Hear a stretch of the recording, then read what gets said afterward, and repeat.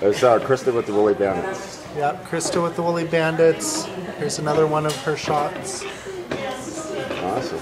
Were you ever at any of the Rodney Wiemenheimer uh, gigs uh, that he was promoting the Woolly Bandits? Um, I was at one art when he did his DJ, his DJ club at this art place, Uh-huh.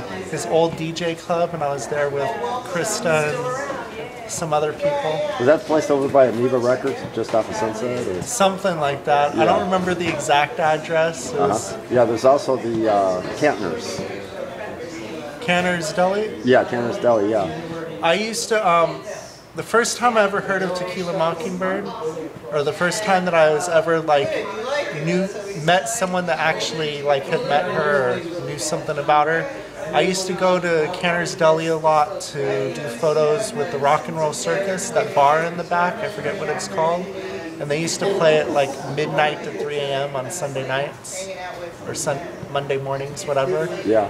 And I used to hang out with this girl, Allison Shalene, who used to perform with the group. Cool. Yeah, Willie Chambers plays Sunday nights over there. Yeah, they have open mic nights. Yeah, Tequila performs. Yeah, it's a pretty fun place. I haven't been there for a while though. Like Yeah. I, I kind of dropped out a little bit because a couple years ago I got unemployed for a year. So We've I was all like, been I, there, I was we're like there. broke for a year. Like, Struggling kinda- Americans. Yes, exactly. and now I have two jobs and I'm still struggling. Yeah, but at least we're getting famous, right? Yes, exactly. Right on.